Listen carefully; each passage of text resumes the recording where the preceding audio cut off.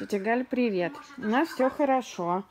Э, Мы приехали. Вот у нас тут уже тут Синди ходит, гуляет. Дафна тут сидит. Уже э, кастрировали нашего Дэвида. Он уже вот проснулся. И тут Руслан ищет, значит, Даниэля. Обыскал все. Все обыскал. Говорит, нигде нету котенка вообще ни одного. Обыскали все. Знаешь, где он?